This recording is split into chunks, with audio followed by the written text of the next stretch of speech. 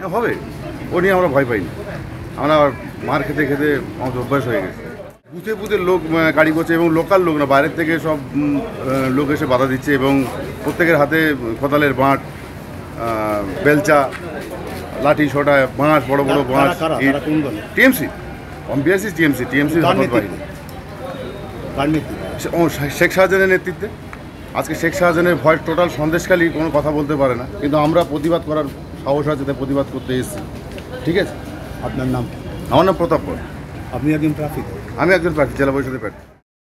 বসিরহাট নিয়ে ফের আদালতের দ্বারস্থ হয় বিজেপি। মনোনয়ন পেশের সময় বাড়ানোর আবেদন নিয়ে আদালতের দ্বারস্থ হয় বিজেপি। সন্দেশখালী মিনাখা নেজার হাড়োয়া এই চার ব্লকে মনোনয়ন পেশের সময়সীমা বাড়ানোর আবেদন নিয়ে আদালতের দ্বারস্থ হয় বিজেপি। কলকাতা হাইকোর্টের নির্দেশ অনুসারে বসিরহাট মহকুমা অফিসে ষাটজন বিজেপি প্রার্থীদের মনোনয়ন জমা দেওয়ার কাজ শুরু হলো। সন্দেশখালী এক নম্বর, দুই নম্বর ও মিনাখার বিভিন্ন বুথে বুথে বিজেপি প্রার্থীদের ভয় দেখিয়ে মনোনয়নপত্র জমা দিতে দেয়নি তৃণমূলের হারমাত বাহিনী। এমনটাই অভিযোগ জানিয়ে গতকাল কলকাতার হাইকোর্টে মামলা করেছিল বিজেপি। আজ দুপুর একটা নাগাদ কলকাতা হাইকোর্ট থেকে ওই ষাটজন বিজেপি প্রার্থীকে বসিরহাট মহকুমা দফতরের মনোনয়নপত্র জমা দেওয়ার নির্দেশ দিয়েছে। সেই নির্দেশ মতো আজ বিকেল চারটের পর থেকে বসিরহাট মহকুমা দফতরে শুরু হলো মনোনয়নপত্র জমা নেওয়ার কাজ। চলবে সন্ধ্যে সাতটা পর্যন্ত। বসিরহাট সাব ডিভিশনের পাঁচটি block Minakha Sandeshkhali one, two, Nazat আর হারোয়া এই ব্লকের যারা বিজেপি প্রার্থী, তারাকে নমিনেশন দেওয়া থেকে বাধা দান করা হচ্ছিল।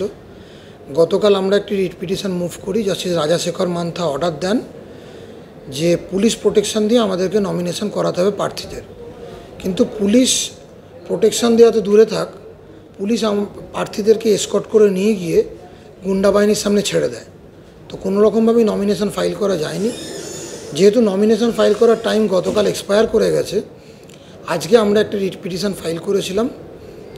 ডক্টর অর্চনা মজুমদার, উনি বিজেপি বসিরহাট জোনের প্রেসিডেন্ট ইনচার্জ ওনার রিট পিটিশনে জাস্টিস অমৃতা সিনহা অর্ডার দিয়েছেন যে নমিনেশন ফাইলিংয়ের ডেট একদিন এক্সটেন্ড করলেন, যেটা ফিফটিন জুনে শেষ হয়েছিল, সেটা সিক্সটিন জুন পর্যন্ত এক্সটেন্ড হলো।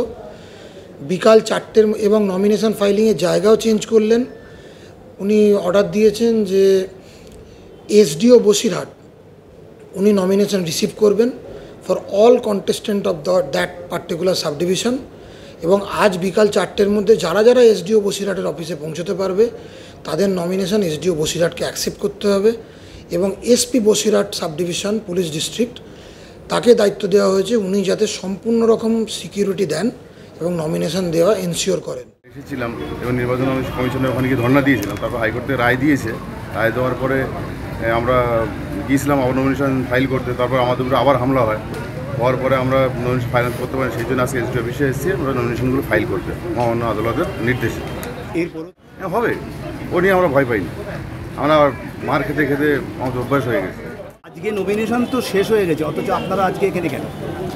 হাইকোর্ট আপনারা নিশ্চয়ই শুনেছেন বিগত নির্বাচন ঘোষণার পরের দিন থেকেই সন্দেশখালীর এক দুই ব্লকে করোনার সময় যেরকম পরিস্থিতি তৈরি হয়েছিল লকডাউন সেখানে লকডাউন করে রাখা হয়েছিল, কর্মীদের ঘরে গার্ড দিয়ে রেখে দেওয়া হয়েছিল, তারা বাড়ি থেকে বেরোতে পারে সে মতো অবস্থা এবং দুটো ব্লকে যে হাজার হাজার কর্মীদের আর তৃণমূলের গুন্ডাবাহিনীদের যেভাবে ঘিরে রেখে দিয়েছিল, সেখানে দেওয়া সম্ভব হয়নি। এবং মিনাখাতে আমাদের কর্মীর মা মেরে ঠ্যাং ভেঙে দেওয়া হয়েছে পিঠে ব্যাকবোনে আর হাড় ভেঙেছে রিপ ভেঙেছে, এরকম পরিস্থিতিতে আমরা হাইকোর্টের দ্বারস্থ হয়েছিলাম। তা মহামান্য হাইকোর্ট গত কালই অর্ডার দিয়েছিলেন আমাদেরকে, পুলিশের হেফাজতে পুলিশের মাত্র পুলিশের দায়িত্ব দিয়েছিলেন যে তারা আমাদেরকে নমিনেশন করাবে। কার্যক্ষেত্রে আমরা হাড়োয়া থানাতে আমি নিজে এগারো জন কর্মীকে নিয়ে আর হাড়োয়া থানাতে নমিনেশন করতে যাওয়ার পরে সঙ্গে সঙ্গে আমাদের কর্মীদের মারধর দিয়ে ওখান থেকে বের করে দেওয়া হয়, বিডিও অফিসের ভেতর থেকে। ওখানকার, আর হাড়োয়া থানার ওসির সামনে এই মারধর হয় এবং তারপরেই আমাদের গাড়িগুলো ভাঙচুর করা হয়। ওখান থেকে কোনো রকমে আমরা পালিয়ে প্রাণে বাঁচি।